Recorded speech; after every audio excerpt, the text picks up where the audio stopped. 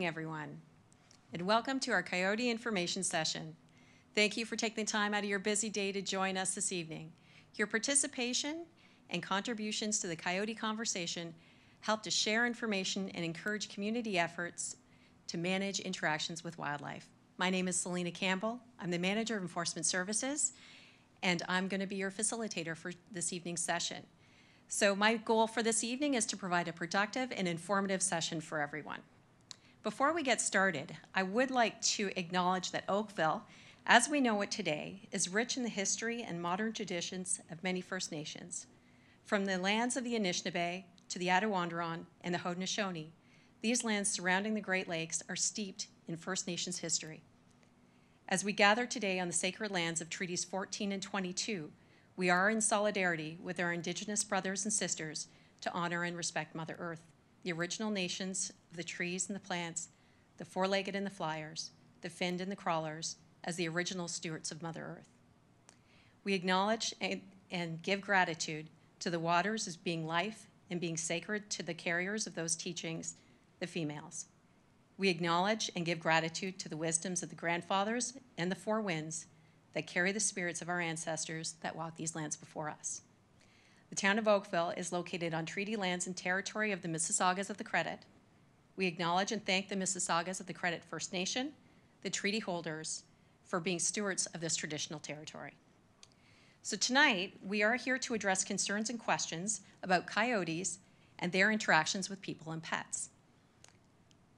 There are there's a lot of information and misinformation that's available online and circulating through our community. Council and staff have committed to providing residents with the most accurate and up-to-date information. We understand that coyotes can elicit strong feelings, and we ask everybody to channel that passion into constructive comments and questions. Tonight's agenda consists of related, uh, sorry, Zoom-related instructions, panelist introductions, a presentation from the, from the town on coyotes and the Coyote Education and Response Program, the presentation from staff at the Oakville and Milton Humane Society. And finally, finally we'll move into a question and answer period uh, where, where we'll answer questions that are submitted through this evening's session, as well as questions that have already been submitted.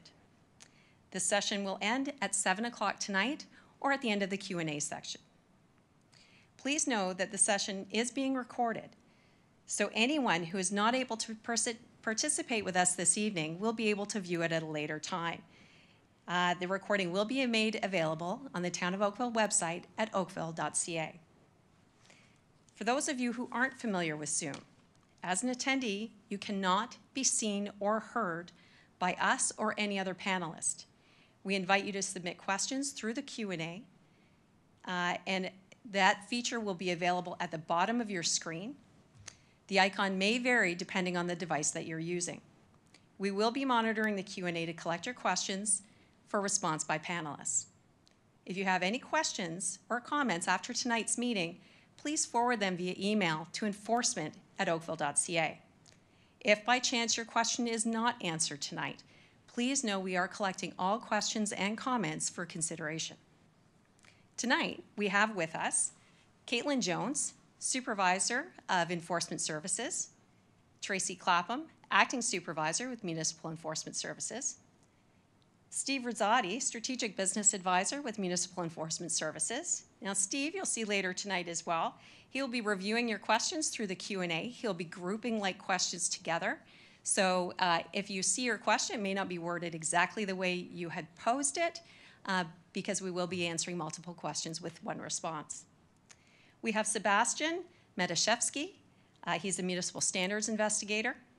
Lindsay Alberts, administrative officer and dispatcher with Oakville and Milton District Humane Society. Sabrina Parson, supervisor of animal protection services with Oakville Milton Humane Society. And Leslie Sampson, founding executive director of Coyote Watch Canada. Some members of council will also be watching this evening to hear your questions and concerns.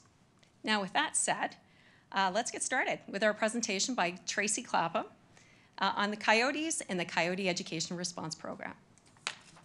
Thanks very much, and we'll put it over to you, Tracy. Thank you.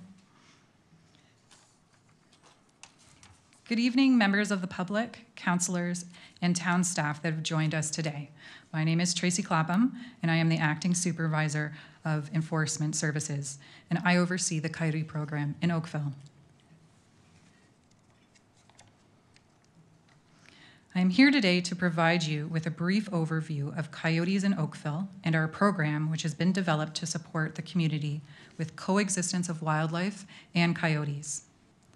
As part of the presentation, information will be provided on understanding coyote science and adopting coexistence, the coyote program in Oakville, including resources available to you, roles and responsibilities of partners connected to our program, and information on coyote education and response procedure.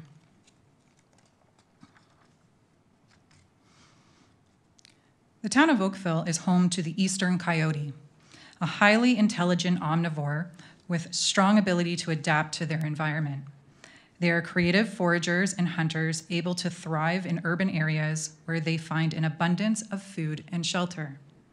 The eastern coyote's diet is predominantly made of vegetables, plants, grubs, insects, small rodents, carrion, and fruit tree droppings. Coyotes are active when resources are available to them, which is both during the day and night.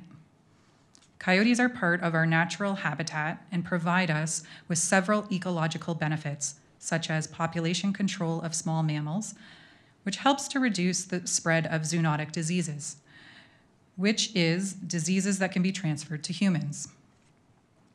Eastern coyotes are often referred to by their nickname, coy wolf. However, it is important to know that they are the same species. The eastern coyote reaches a maximum of 45 pounds, but may appear larger due to their lanky stature and their large, full fur coats. To provide a bit of context to the nickname, the genetic makeup of an eastern coyote stems from over 100 years ago when the wolf population in the Algonquin area was greatly reduced and as a result were forced to breed with the western coyote, which is why wolf is found in their DNA. It is important distinction to make that the eastern coyote is not a true hybrid species and is a close relative to the wolf, fox, jackal, and family dog. It is not uncommon to hear the sounds of coyotes yipping and howling. Like us, they vocal- vocalize to communicate, to warn one another of danger, and to act as a canid GPS. They are capable of making a variety of sounds, which is frequently gets misinterpreted as large groups of coyotes, when typically it is only two or three of them. There is a term for this, and it is called the Beau-Geste effect. Coyotes are typically are solitary foragers and hunters. Coyotes are often mistaken as vocalizing when they are eating, but like people, it is not ideal to be talking with your mouth full. Coyotes are monogamous and they mate for life when left to thrive. If we see coyotes together, it is referred to as their family unit, one family per territory. If they can also they can also live as a solitary coyote that involves a lot of traveling where they're likely constantly on the move. They are devoted and protective parents to their young. An average litter size is approximately two to five pups, but larger litter sizes are not uncommon when there are an abundant of resources available. During this seasonal milestone is where we may see some interactions between dogs and coyotes. When coyote parent feels threatened by a domestic dog they may, that may be getting closer in proximity to their young. Their pups are born in the spring and they raise them until they disperse. Dispersal may be at various times of the year, and they would disperse to try to establish their own home range or territory. Coyotes that have dispersed will periodically reunite with their family. Coyotes only use a den for a short period of time while the pups are small. After that, the parents relocate them to a safe location called a rendezvous site, where the pups will be left while the parents go find food. This is typically when people mistaken the pups for being abandoned. As I mentioned, Coyotes are devoted parents. Pups are never abandoned, but what could happen is they become orphaned.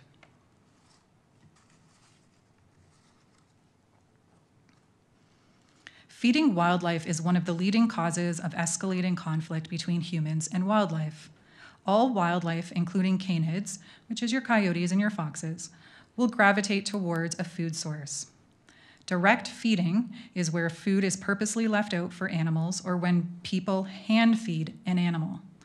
The town of Oakville is receiving numerous calls a year where people are deliberately leaving food out in a manner to feed wildlife. Indirect feeding can be improperly stored garbage, fruit tree droppings, vegetable gardens, or a meal meant for a personal pet. I like to remind everyone that if you are feeding one, you are feeding them all. Something as small as an improperly kept bird feeder will produce a universal feeding source for small rodents birds of prey, squirrels, rats, opossums, and then naturally, those small mammals are now attractants to larger ones, such as coyotes. Feeding also impacts proximity tolerance to people. Proximity tolerance is the reaction in an animal where their instincts to stay away from people are hindered due to the food driven reward. If you know of any feeding, please report it to Service Oakville for a follow up investigation.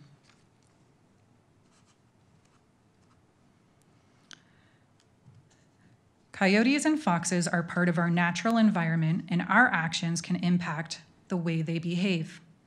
Implement these practices to help promote a healthy coexistence among wildlife. Don't leave out harmful handouts such as food. Don't hand feed wildlife. Don't feed your pets outside.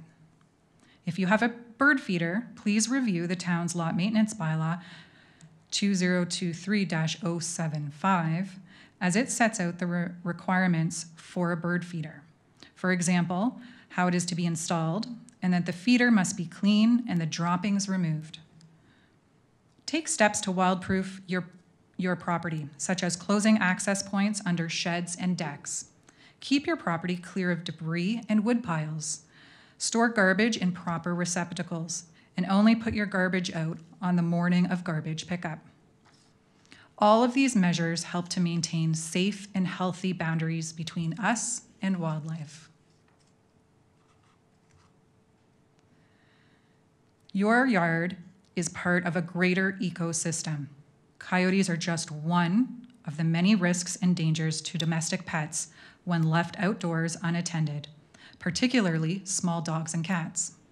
Some things you can do to ensure their safety is to monitor them when they're outside in your yard and not leave them unattended. As pet guardians, we can mitigate unsafe situations by making informed choices.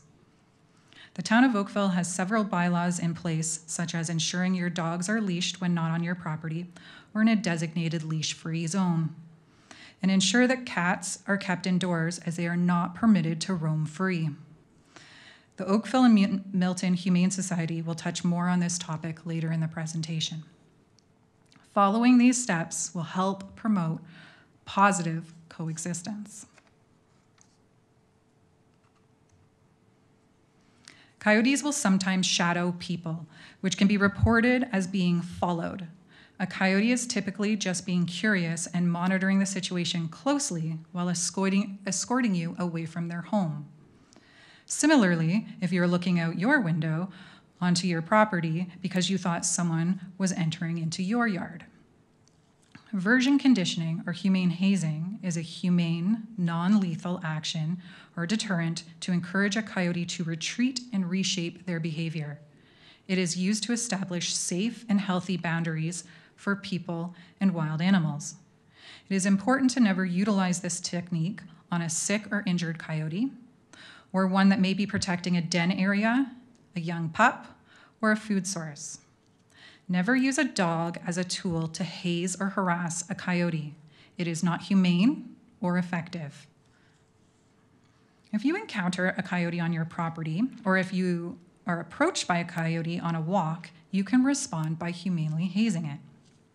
First things first, stay calm. Never turn your back and run.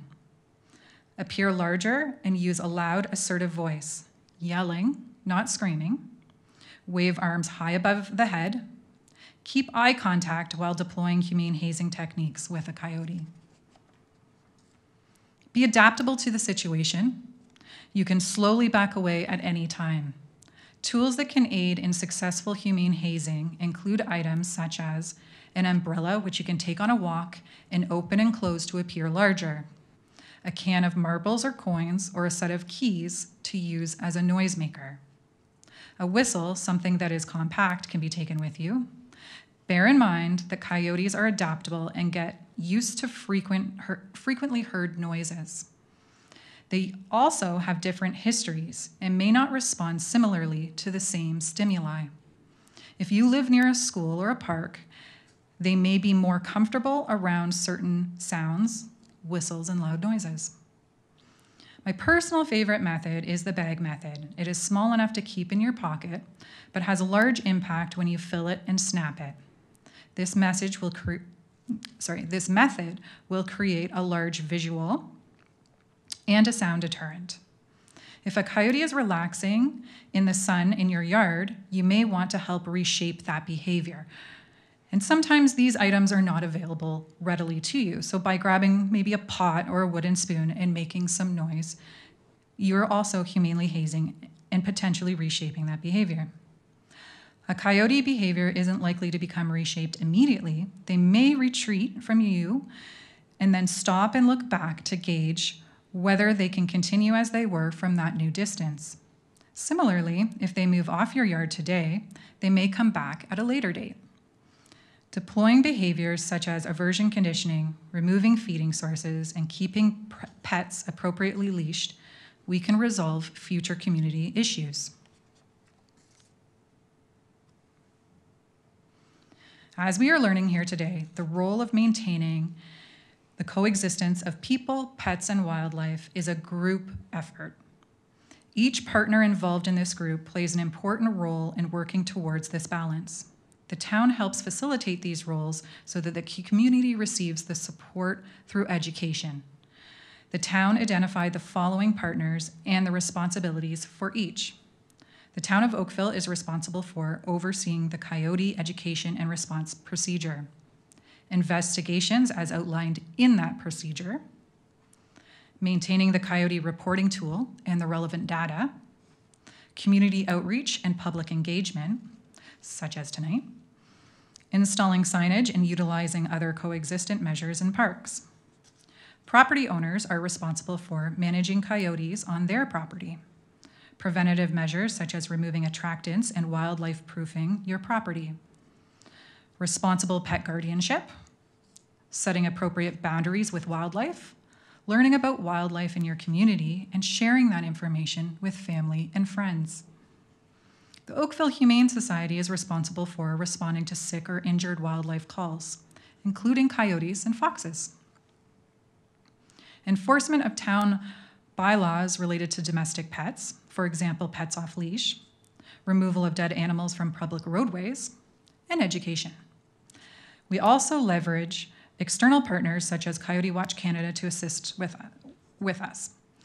Scientific expertise, community education and aversion conditioning, and investigations. The Ministry of the Natural Resources assists with policy and legislation and supports with educational materials. Lastly, Halton Regional Police Service can assist in the unlikely situation where there is an immediate threat to personal safety.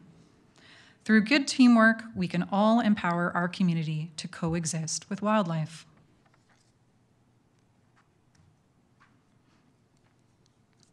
The town regularly updates the Coyote program to reflect best practices. The coexistence program is housed with Municipal Enforcement Services Department and incorporates on the ground resources by supporting the community with education, outreach, and investigations based on coyote reports. We are able to do this through the use of the following tools access to external partners such as Coyote Watch Canada and the Ministry of Natural Resources and Forestry, the Coyote Reporting Tool, municipal bylaws, investigations connected, conducted by municipal enforcement officers, installation of signage in parks and trails to alert patrons of the presence of coyotes, distribution of flyers to neighborhoods, public engagement sessions, utilizing education and advertising devices, access to web content, and social media. To further assist residents to understand the Coyote program in Oakville, staff have developed a Coyote education and response procedure. It is based on the best known coyote management practices in an urban environment and incorporates strategies that directly address the primary reasons coyotes may come in conflict with people. The procedure categorizes each report type with the town's response level. Emphasis for the program is focused on public engagement and awareness and responding appropriately when interacting with wildlife. This framework includes responses taken for coyote sightings, den sightings, situations where the coyote has approached or followed a person or pet, and an escalated response in the event of a physical interaction with a person or a pet. Key preventative practices such as limiting food, shelter, water, and avoiding leaving pets unattended or roaming free are key to minimizing potential negative interactions between people, pets, and coyotes. This simplified approach provides clarity to the public and supports current education and communication programs in responding to public concerns about coyotes and is available on our website. The reporting tool in 2012 sorry, the reporting tool was introduced in 2012 to serve a multi use tool alongside the coyote management strategy. The report system continues to be a key part of the coyote education and response procedure today. It provides the residents an opportunity to submit their coyote observations, including photos, relating to various coyote interactions, and view other submissions through the online map. It also provides staff the opportunity to review data quickly and assist with where efforts and resources need to be deployed. This form does not allow staff to determine the numbers of coyotes, as the same coyote often generates several sightings and reportings a day. It is a useful tool to help identify areas in the community where coyotes may be more active. This highlights areas where signage can be installed to promote awareness and also helps when investigating reports of active feeding in our community. The data from this tool will assist in identifying the response to be taken based on the type of report. As noted in the Coyote Response Procedure Strategy, staff will respond according to the report type and may include distribution of flyers, installation of signs, maybe even updating um, to close garbage systems in parks. The response from the town will increase based on this strategy and will include more in depth investigations relating to den sites or interactions with domestic pets or people. In recent years, we have been successful with mitigating direct and indirect feeding sources and identifying active dens based on information shared through this tool. We do rely heavily on the eyes and ears of the public to assist in providing information, and this, and this platform helps with that.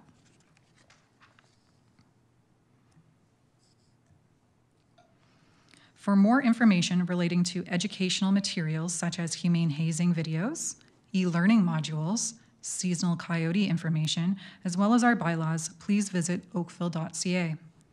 Thank you for your attention and attendance here tonight. At this time, I would like to pass the podium over to Lindsay Alberts with the Oakville and Milton Humane Society to speak to their involvement with wildlife, coyotes, foxes, and your pets here in Oakville. Thank you.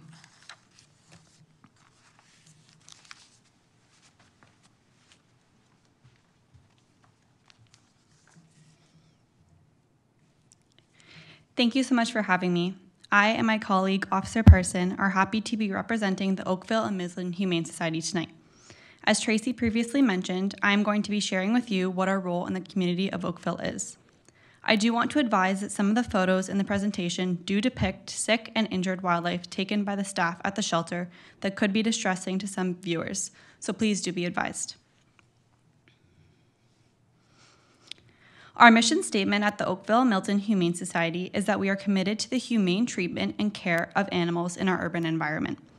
Our mission statement states that we are dedicated to protecting and making life better for all animals and connecting the communities that care about them in Oakville and Milton.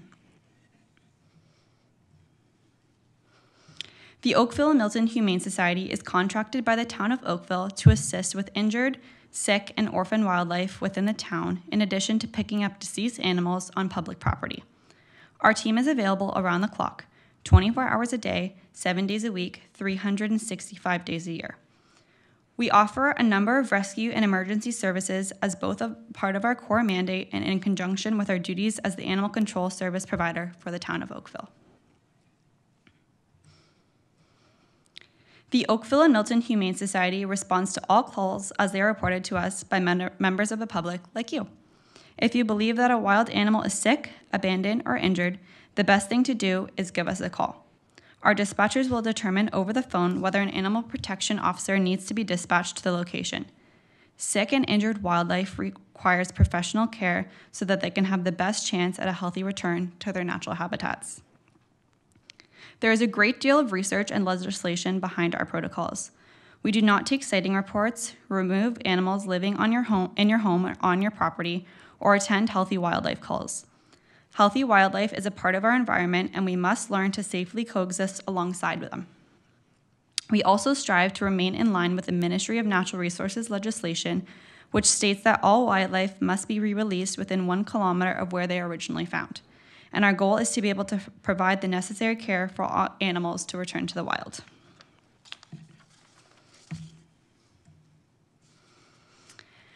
As part of our mandate, we are contracted by the town of Oakville to enforce animal control bylaws.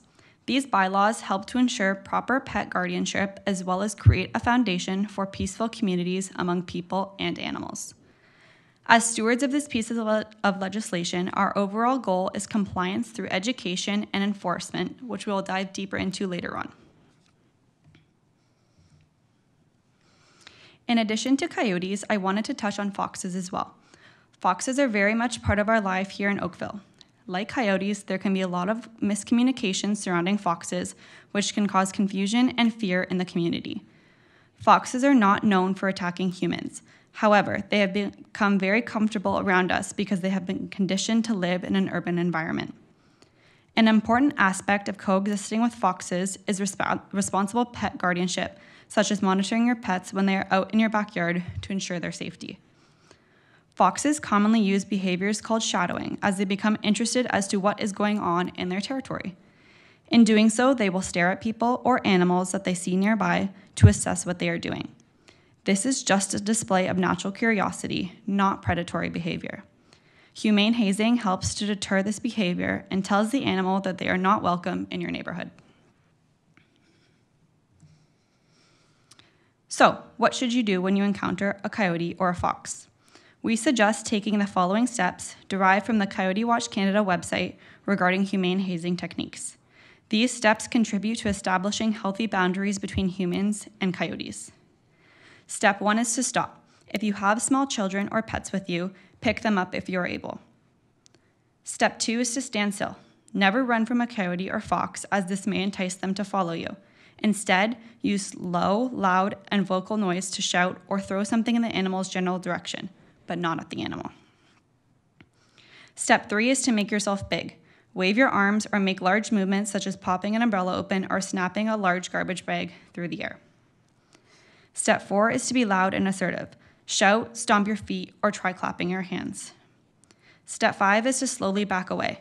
Be assertive as you leave to, as you leave to ensure the animal knows it is not welcome.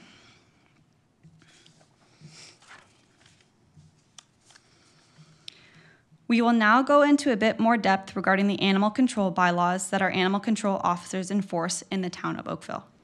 The Oakville Milton Humane Society provides enforcement of various animal welfare and control legislation through our service agreement with the town of Oakville.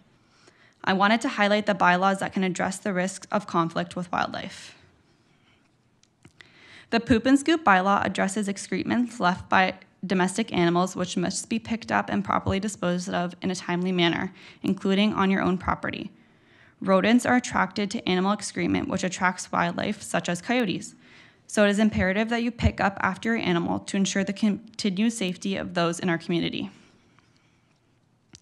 Cats are not permitted to roam freely in their owner's property. Sorry, so sorry. Cats are not permitted to roam freely, freely off their owner's property in the town of Oakville. Cats with access to the outdoors are at risk of many environmental dangers such as diseases, vehicles, poisoning, wildlife, and extreme weather. Though the bylaw does permit cats to be outside on private property, the Oakville Milton Humane Society advocates for indoor cats only due to the risk outweighing the benefits. Dogs must be on leash at all times unless on the, unless on the owner's property or at a designated leash-free dog park. Domestic dogs can be considered competition for food items and territory, and coyotes may attempt to defend themselves against a domestic dog to protect their families. Dogs who are allowed to roam off leash outside of private property or leash free areas can lead to an increase in conflicts with coyotes due to trigger stacking. This means that if a coyote has had a bad experience with a dog in the past, it can lead to them being more alert and defensive due to past trauma. Additionally, most dogs with even the strongest recall likely have not been trained in a situation with a coyote before, and it is possible that your dog will see the coyote as a distraction, which can cause them to be pulled out of their tunnel vision. Dogs, when on a leash, are more in your control and safer of unknown dangers and potential conflicts.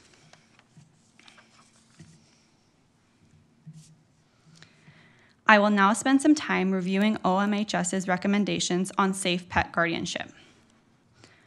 Always keep your dog on a leash regardless of their recall ability or behavior. Avoid walks at dusk and dawn. Carry deterrents such as umbrellas, branches, or air horns. Find a walking buddy for you and your dog, and do not allow your children to walk your dog. Always supervise dogs while on your property. OMHS recommends not allowing your cat to roam off your property or leaving them unattended outside in your ar- yards or on a tie-out. Coyotes are only one of the number of countless threats outdoor cats can encounter. We do not advise you to bring any small animals or pets outside, nor leave them unattended outdoors. Compliance with the animal control bylaws not only ensures that your pet is safe from the potential threats and unforeseen circumstances, but also that your neighbors and other community mem- members can enjoy living in the town together. Many people are frightened by domestic animals or may not enjoy being around them on their property. These bylaws ensure that everyone can freely enjoy the town of Oakville together. If you do witness a bylaw violation in your neighborhood, you can call us at the Oakville Milton Humane Society to file a report. In closing, I wanted to share an important quote with you, which reads Each species on your planet plays a role in a healthy functioning of a natural ecosystem in which humans depend on.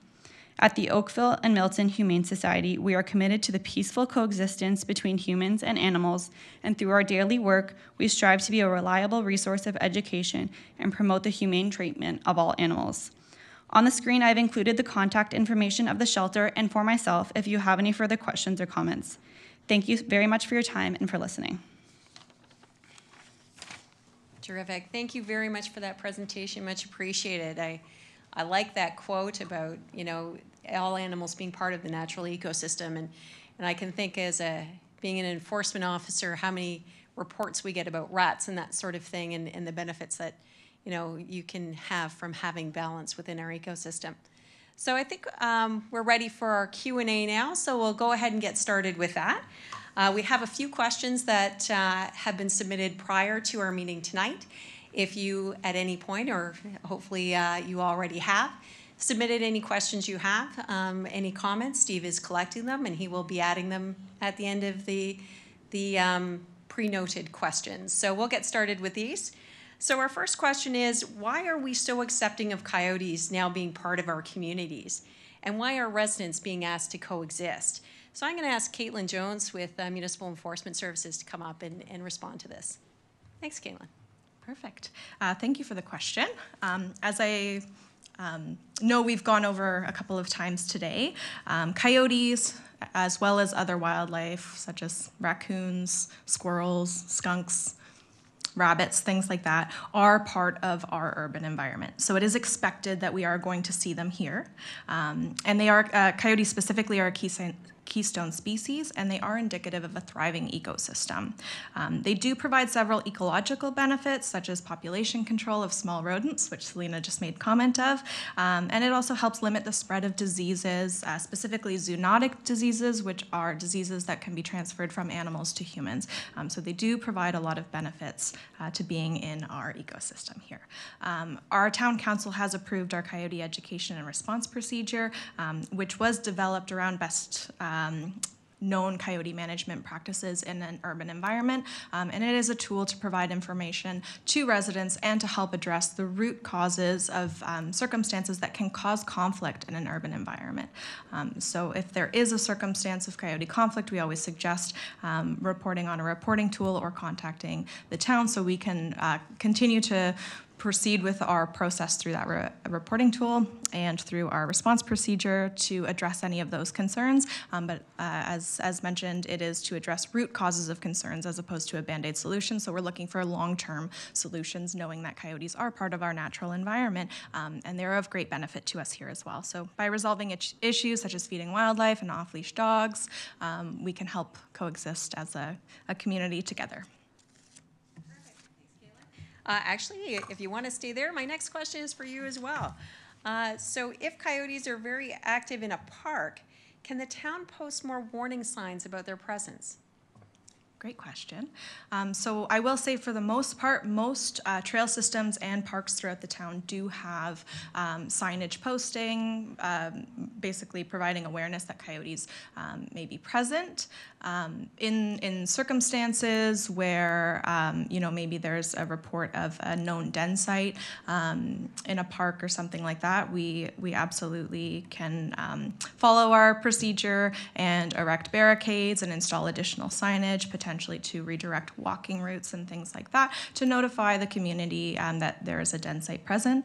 Um, in addition, if there's any, um, if we conduct any investigations, as part of those investigations, our staff will do um, walkthroughs if it's nearby a park, and um, they will basically do an inventory to to make sure that identify any signage deficiencies potentially, uh, any garbage deficiencies, things like that. So signage is part of that review, and if we notice that they're not there or they're not um, visible, um, we will absolutely engage our parks team to have those installed, especially if there's an increase in sightings um, in areas where they're not already present.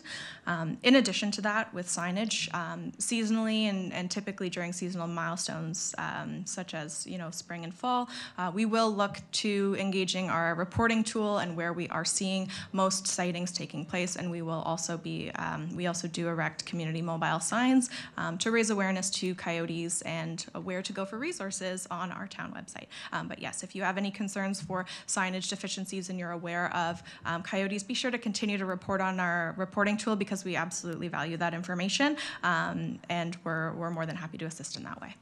Great, thanks, Caitlin. We'll give you a break for just a moment. And I think our next question, the just touched on a little bit, but I think I'm going to ask Leslie from Coyote Watch Canada to come on up and respond to um, a resident who has concerns about coyotes sunning themselves on their front lawn. And, and what should they do?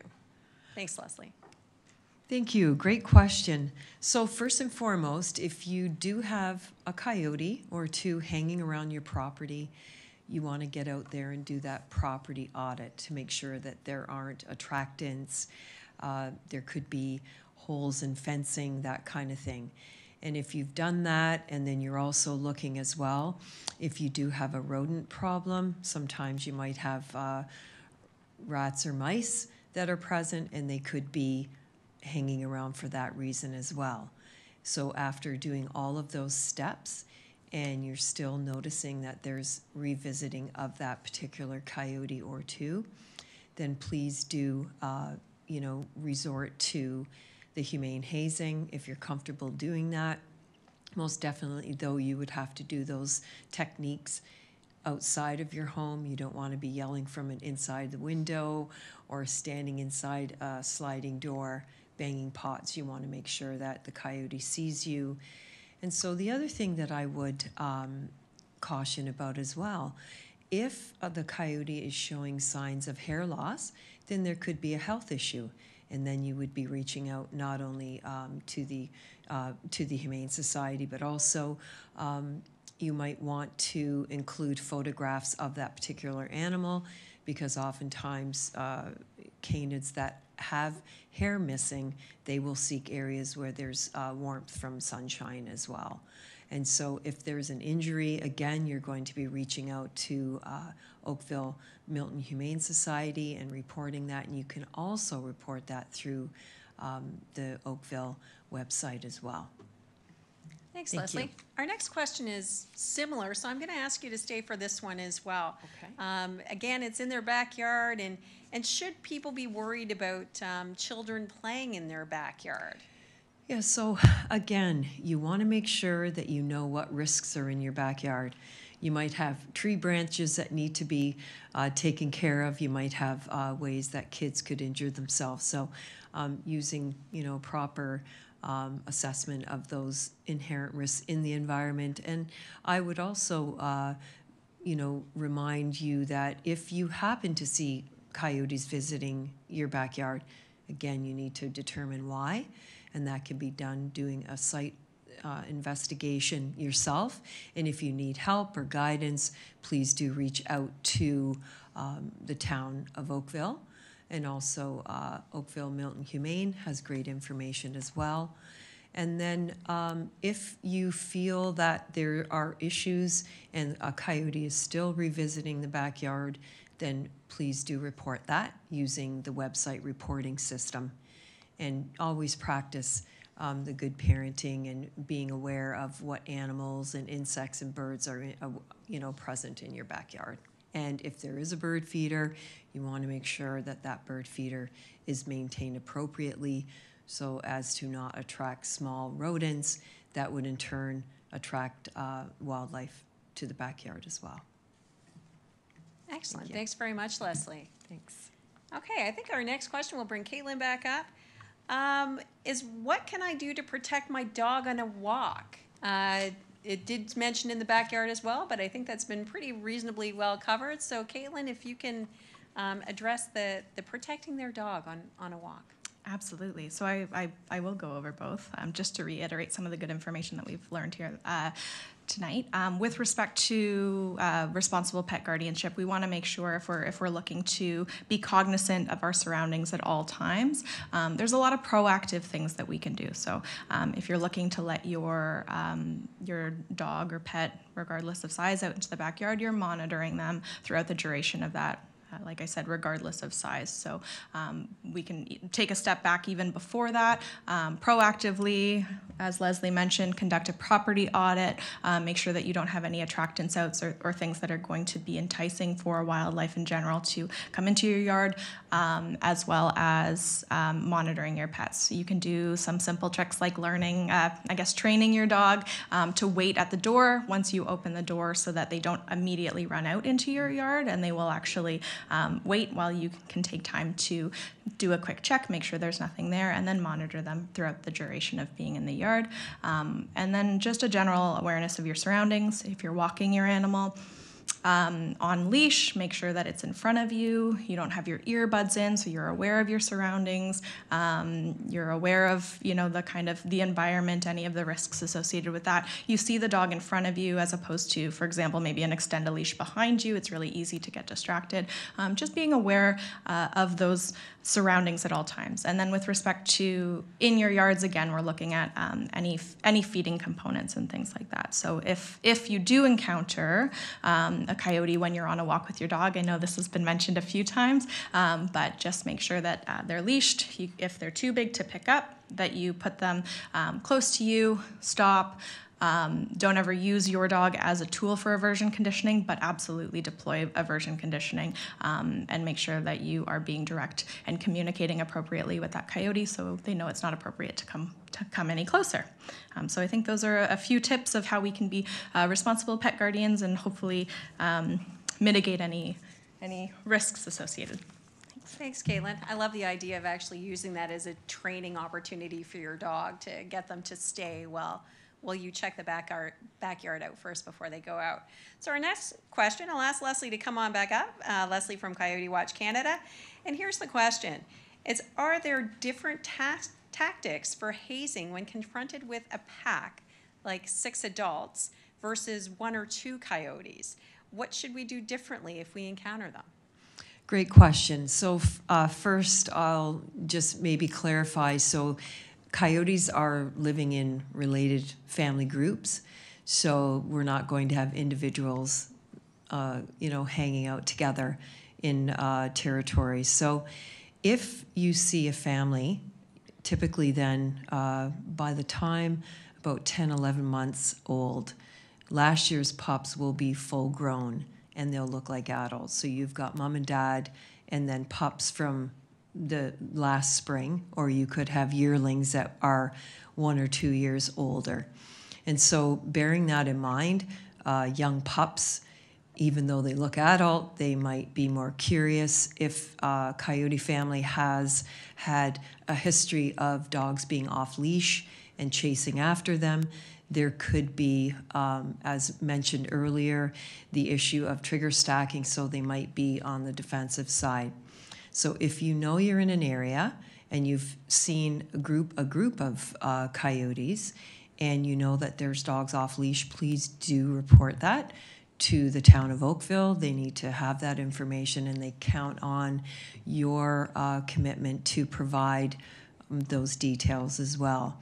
And so, going through aversion conditioning, you always would have your dogs on a leash, even in areas.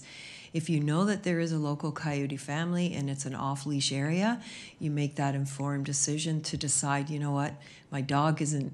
Uh, doesn't have good recall, so I think I'm going to walk through this area with my dog on a leash. And if you notice that uh, members of that family of coyotes are starting to escort or shadow you, if it's during the seasonal milestones of pup rearing, you would then make sure, again, you need to report that interaction and then um, keep your dog very close to you. If that dog is small, pick the dog up as well and use your uh, voice, be very firm, and don't turn your back and run. And again, don't ever release your dog from a leash to chase after a coyote. It's not safe for the dog, it's not safe for the wildlife as well. Thanks. Excellent, thanks, Leslie. Um, and before you go too far, I, actually, I think maybe you and Caitlin can, can answer this next question together. It's a multifaceted question. So it's when humane hazing doesn't work, what's the next step? So, in my experience, uh, decades of working with uh, coyotes individually and with coyote families, um, anywhere up to uh, two adults, two yearling, and nine pups.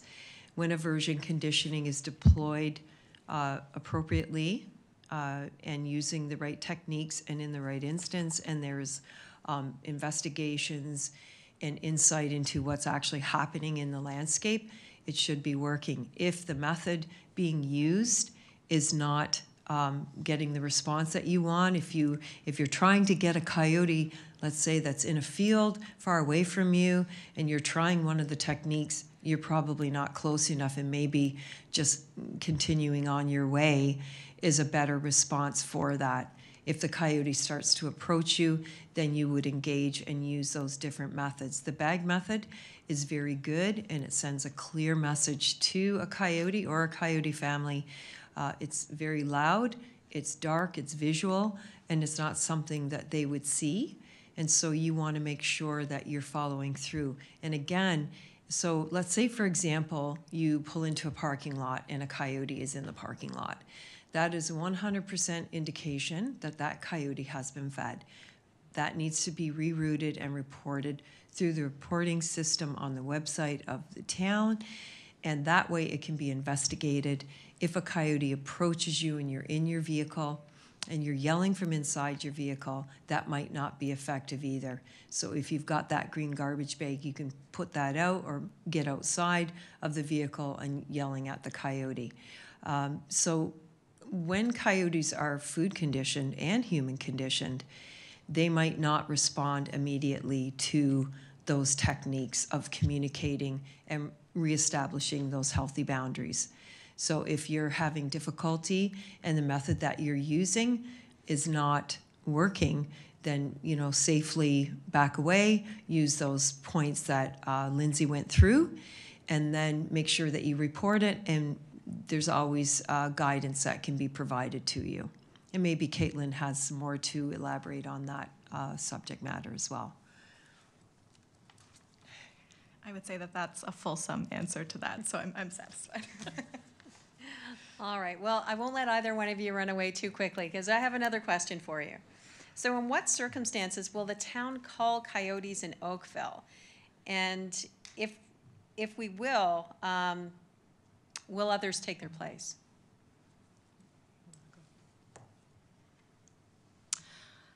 So, just to note, our coyote education and response procedure does not speak to a culling program. It is um, specific to individual coyotes if there's conflict in a community um, to address, like I said, uh, the root uh, concern for um, basically the, the root prob- problems essentially for what can cause coyote conflict in the environment. So, so no, we do not have a culling um, culling procedure, but I can ask Leslie if she would like to elaborate on um, the uh, inhumane aspect and, and how culling programs are um, ineffective.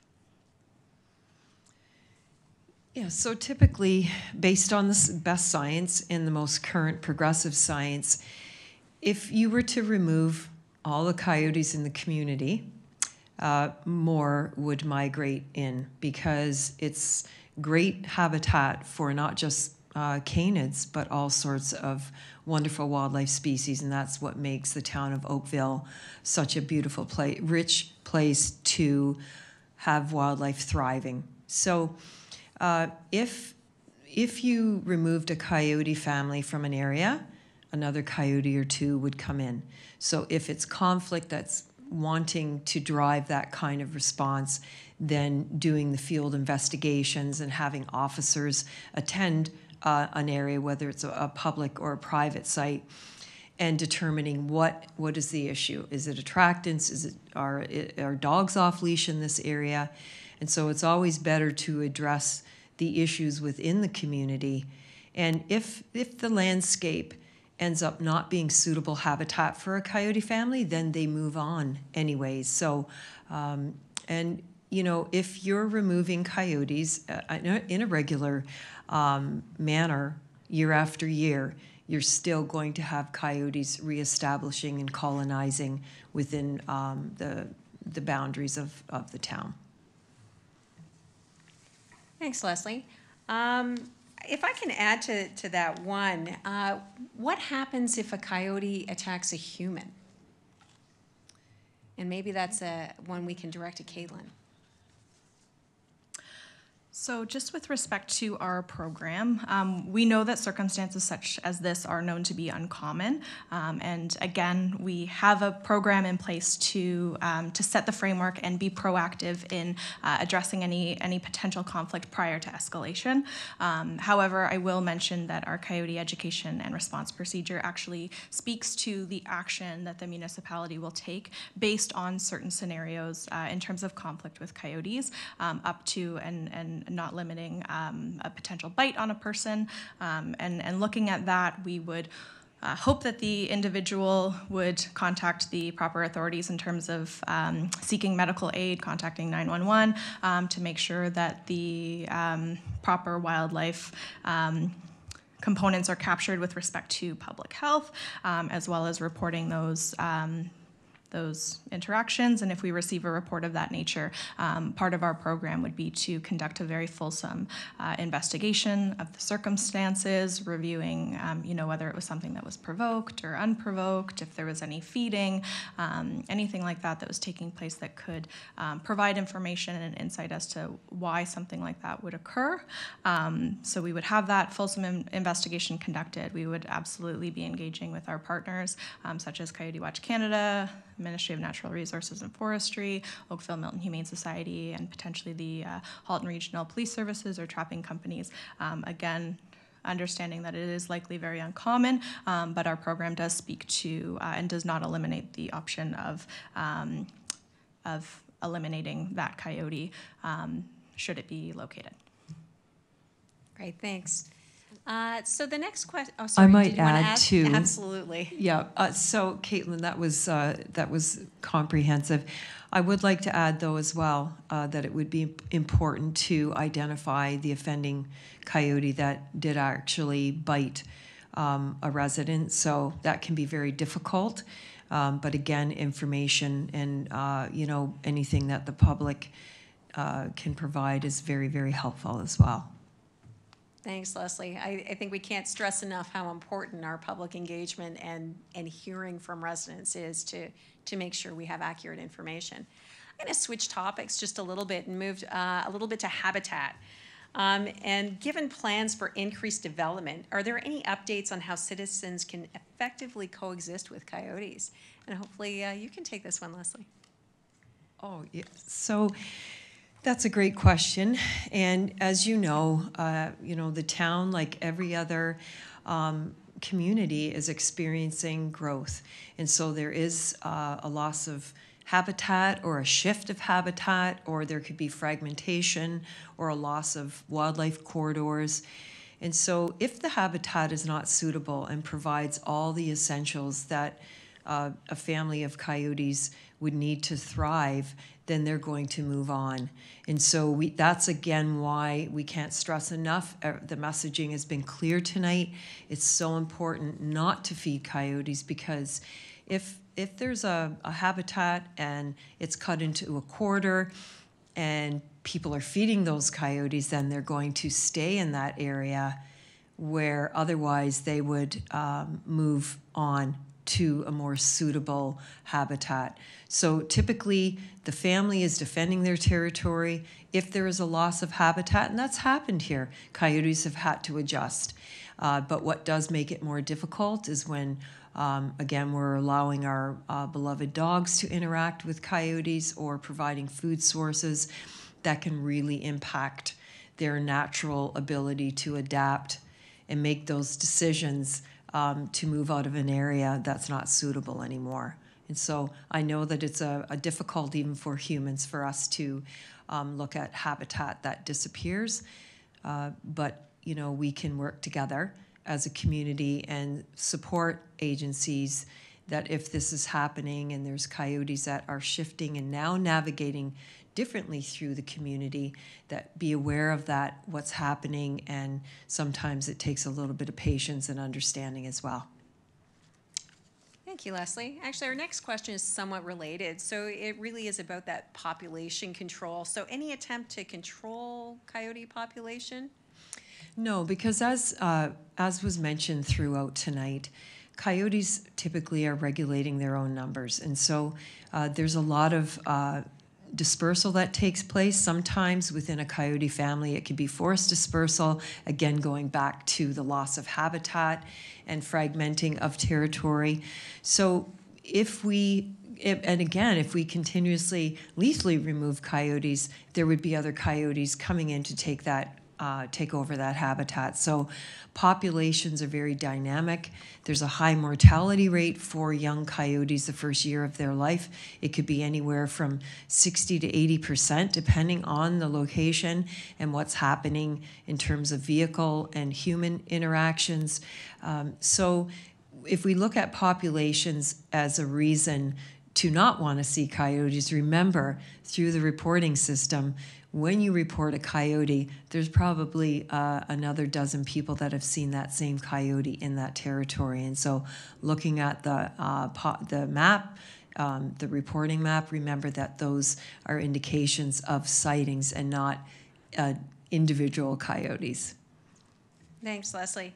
So the next question is uh, also about coyote really behavior, and it was touched on a little bit earlier uh, by the Oakville Milton Humane Society, but hopefully you can elaborate a little bit. So what areas and/or times are coyotes more prevalent, and is it safe to walk trails? What about at dawn or dusk? Should we avoid them? That's a great question. Again, it's all going to hinge on your comfort zone and if you're um, informed, uh, you know, and you're not carrying a cell phone, you're not wearing earbuds. Uh, you go out, especially if you're, you know, walking in the evening time. You can wear a, headlamp. You can buy those at a Canadian Tire store. Um, but if there is an increase in uh, coyote activity in a particular area, and right now, um, April is around the time when the pups would be born, and so you might make a different decision at that time if you are walking with your family dog. And in those instances, you do want to make sure again, that your dog is on a leash. Even in those leash free areas, if you know that there is a coyote family that's living in that area, you know, it's always better to be safe and proactive. And so dawn and dusk can be uh, common times for canids to be active. But really and truly, even if you haven't seen a coyote in the area, just understand that there's coyotes that are dispersing from the family, which could happen any time of the year. So there might be a coyote passing through. And you want to be alert and aware, as uh, mentioned earlier, throughout the presentations of your surroundings. And, um, you know, again, you can always go out for hikes.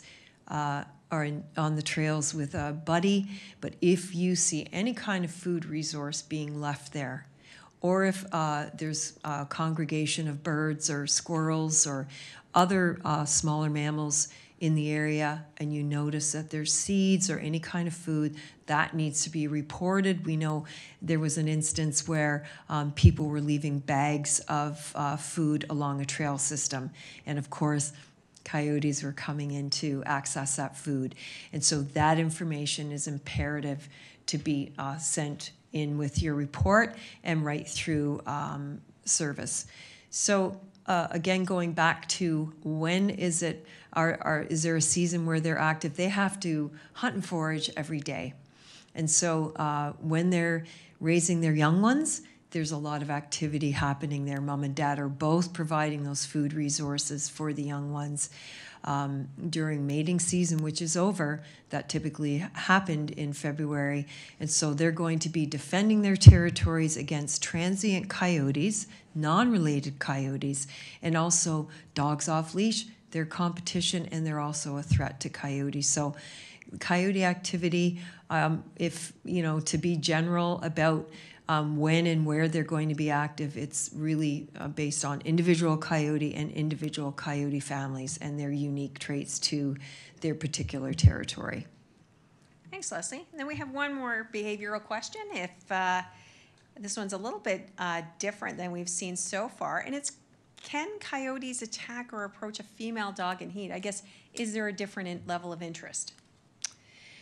Uh, first and foremost, so coyote females are monestrous, which means that they have one opportunity to procreate with their mate. And as mentioned earlier, again, coyote uh, male and female mate for life when left to thrive. So maybe um, first and foremost, I would never advise uh, a coyote, um, you know, coyotes, uh, my, my concern would be first and foremost with the dog that is not uh, spayed or neutered running loose in the community. There could be an instance where those dogs could actually meet up with another dog that happens to be uh, available to mate with that dog. So I think um, practicing uh, good pet guardianship and leashing your dog and consider um, spaying or neutering as well, but definitely not having a, a dog free roaming that is uh, going through one of their reproductive cycles. So, coyotes, again, um, they choose their own species, and um, you know, maybe a dog might be interested in a female coyote that would be in heat, but uh, that male coyote would also be defending her as well uh, against a, a, domestic dog. So, I think it's in everybody's best interest to make sure that we have our dogs leashed up when they're in that kind of physical condition. And um, if you know of folks that, you know, have seen coyotes and dogs interacting together, again, just send a, a report into the town as well to alert them that folks are allowing their uh, domestic dog to play with uh, wild coyotes. Thanks, Leslie. Actually, my next question is for uh, staff from the Oakville Milton Humane Society. Um, and it, the question is, my neighbor feeds a lot of birds all the time, and the birds always hit our windows and die. Uh, what should we do with the deceased birds to make sure the coyotes don't eat them?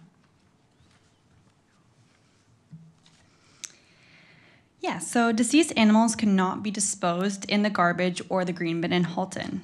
Um, to dispose of these uh, deceased wildlife, you can give us a call at OMHS, um, and one of our officers can come pick up the deceased animals um, and properly dispose of it. If the animal is on private property, there is a fee for pickup. This process can be done uh, during the shelter's operating hours, which can be found on our website, and you can just give us a call. Excellent, thanks very much. And then our next question is, how is information being submitted to the reporting tool being used? And I, I think I'll ask Caitlin to come up and, and respond to this one. Thanks very much. Thank you. Um, so the reporting tool is a really handy um, mapping uh, system that we use um, in our department. Um, essentially, to make sure that we have our finger on the pulse with respect to trends in uh, coyotes on an anecdotal level as um, being reported in the community. So we can't be everywhere all at once, and we really heavily rely on public information. So it's um, really helpful. Um, the mapping system has uh, been able to assist us in seeing where you know there's concerns potentially. Um, we've received uh, feeding reports, or we've been able to actually identify locations of where feeding is taking place based on sighting reports. Um, and we've had uh, uh, proven success uh, cases by utilizing that tool as well. Um, it also provides us uh, with information on where um, there might be a need for additional information, um, the community mobile signs uh, that we post seasonally, where those uh, should be placed uh, based on the season, as well as um, again, like I mentioned, any of the, the feeding, uh, potential feeding sites. Um, and additionally, where to deploy our resources and and information to the public. So if we receive um, maybe an escalated concern uh, or we see that there's a lot of coyote uh, presence in a particular area, maybe we need to conduct a flyer distribution in that area. Um, and also for tonight, any of uh, any of the individuals who report on the reporting tool and uh, click that box where they agree to be contacted, um, will um, we will reach out to them when we do public engagement engagement and information sessions such as tonight uh, to make sure that everybody is included uh, on that information. And it is a very useful tool that we appreciate greatly. So if there's uh, any information that you like to share, we would suggest that you continue to, uh, to utilize it. Perfect. Thanks very much, Caitlin. I know we're a couple minutes over. Um, we do have, uh, I think, a couple of questions in the chat that are getting together. Um, but in the meantime, I will ask one more of Leslie if I could. And Leslie, what steps um, have other jurisdictions taken to proactively reduce the risk of human and pet and coyote interactions? That's a great question. So, one thing I'm proud to say is that uh, many of the uh, multiple communities we engage with across uh, North America, they actually look to the town's program as a good template to uh, create a response uh, strategy for themselves. Um, but you know, first and foremost, having those uh, key steps in place, a way to address uh, conflict, potential conflict, um, escalating situations, and also having instant response through the field investigations and the outreach with the public is so critical. And the communities that are successful have those cornerstones in place. And I would add as well, though, it's because of folks like you, the engagement, uh, coexistence programs cannot uh, be successful without um, the engagement and the cooperation and collaboration with citizens as well. And so that's always a key aspect of programs that really truly represent and utilize um, the coexistence uh, techniques and programs. Great, thanks, Leslie. I, I couldn't agree with you more. I, I, think it really is that that collaborative effort between agencies and the public, and, and like Leslie says, it's so important to have every resident part of this program, teaching each other, learning from each other. Uh, that's what makes it successful. So thank you to all of you. And I am going to ask Steve, I think, to ask our next question. Steve. Yep, thank you. Um, one of the questions we have here are around the population of the coyote. Uh, population has grown increasingly in the last 10 years, um, and we want to know about that and if we can tell what area in Oakville has the greatest number of sightings.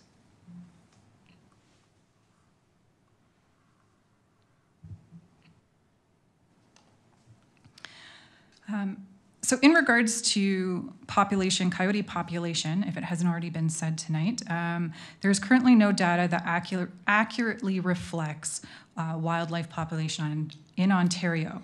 But it is known that wildlife population fluctuates year after year based on the available resources available to the animals, such as the food, the water, and the shelters. Our reporting tool, which was created in 2012, tracks sightings. However, it doesn't accurately reflect the coyote population. I'm gonna I'm gonna say that because once again, um, I've heard I've heard Leslie say that because the coyote reporting. Um, they see the coyote going through that area and it gets reported numerous times a night. But um, you've asked for specific stats, and what we can do is tell you that uh, we have had a decrease from 2022 to all of uh, our using our reporting tool from 2022 to 2023, um, we've had a decrease in 20% um, in sightings reported. The other um, information that you were specifically looking for tonight uh, that was requested was the number of where are we getting the most amount of uh, reports in Oakville. And I can share with you that that is um, in, make sure that I say the right word correctly, because I have it in my head.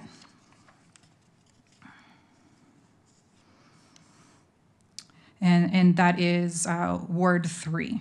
Um, so altogether, whether it's approached or followed, den sightings, um, physical interactions, uh, which can be um, reported as aggression, um, and then sightings in general um, is is 300.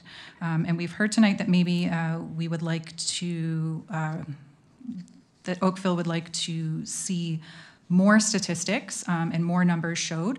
Um, and, and we're going to take that back and definitely make some improvements next year. Um, and in the meantime, maybe even share some more things on our website. Thanks so much. Terrific. Thanks very much, Tracy. Uh, and absolutely, we keep those comments coming in. Any questions, that sort of thing, you can put them through to enforcement at oakville.ca. Uh, we're happy to to review those, and we consider all the comments that are that are received, and we're con- constantly trying to update and improve our coyote reporting system and how we manage that data. So, by all means, please uh, keep us informed of everything happening in your area. And I'll look to Steve, see if he has any follow-up questions or if that's everything that we have for this evening. I have one more. Everything else was uh, covered in previous conversation. And um, you can just remind people that this video will be available on oakville.ca later to, if they feel their question wasn't answered. Uh, but this one is to Caitlin. Uh, is it possible to be more strict in the poop and scoop laws? There are a lot of people leaving their dog droppings on the street. Same thing with people having their dogs off leash at parks in the not off leash zones. So uh, great feedback, and thank you so much for that. So the Oakville and Milton Humane Society is actually responsible for enforcing the uh, animal control bylaw that we do have here in Oakville. So I'm actually going to refer over to Lindsay um, if she would like to speak to this. Thank you. Thanks, Caitlin. Uh, yes, so we are at the Oakville Milton Humane Society uh, responsible for enforcing all animal control bylaws, which include the animal poop and scoop bylaw. Um, so at any time, you can give us a call and just let us know um, of the situation, how often it's occurring. Um, if you have photographic evidence, that would be wonderful. Um, and I would dispatch that information out to one of our animal control officers who would follow up. Um, as I mentioned in my previous uh, presentation, our goal is overall compliance and education, and we take enforcement where it's necessary. But we really want people to understand why the bylaws are in place and why they're so important. Um, they're not just important for coyotes, but also for keeping community members happy and for um, multiple reasons, basically.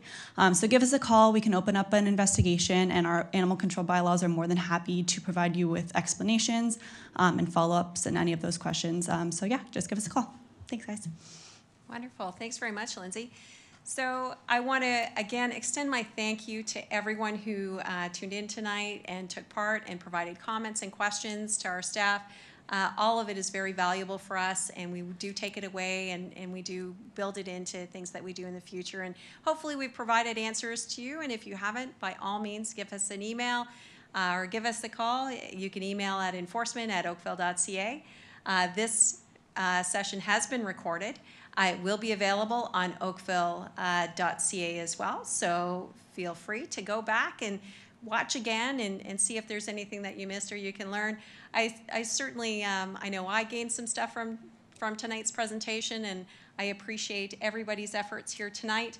Uh, so thank you very much to every resident who uses our reporting system, who uses aversion conditioning, and you know really participates in this program. Uh, it means a lot to us. Thank you very much. Thanks for tuning in, and have a great night.